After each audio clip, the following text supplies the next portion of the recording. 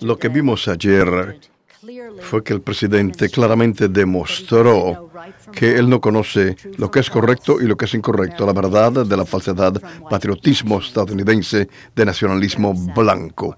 Muy triste para nuestro país.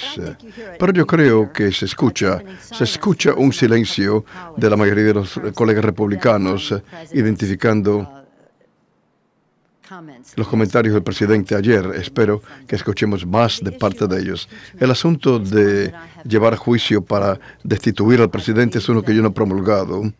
Creo que alguien que ha servido mucho tiempo en el Comité de Ética trata del derecho y los hechos. Derecho, la ley y los hechos. Tenemos investigaciones eh, en estos momentos. Creo que tenemos que tener una comisión independiente de terceros para investigar lo que está ocurriendo ahí. Pero debido a que no nos gusta eh, que el hecho de que el presidente no conoce de la verdad, de las falsedades, lo bueno de lo malo, el patriotismo, del nacionalismo, no necesariamente son eh, razones para llevarlo a juicio, para destituirlo. Pero si él deja de obedecer la ley, veremos a ver entonces.